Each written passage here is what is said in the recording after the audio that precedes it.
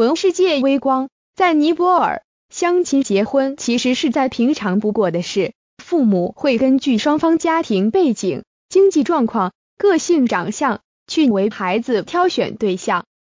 我们都知道，自由恋爱不一定代表幸福美满，相亲也不代表走入痛苦的婚姻。门当户对，理论上来说是两方最容易维持关系的条件。不过，在尼泊尔结婚，新娘哭丧住脸很正常。有句谚语说：“新郎要笑。”因为这是他人生最后一次无忧无虑的笑，以后就要负起照顾家人的责任。新娘要哭，因为这是她人生最后一次哭，以后丈夫会好好照顾她。只是在现代尼泊尔社会，这份好好的照顾，经济上的意义或许大过于实质陪伴的身影。青壮年男性到海外打工，寄钱回家，是今日尼泊尔常见的现象。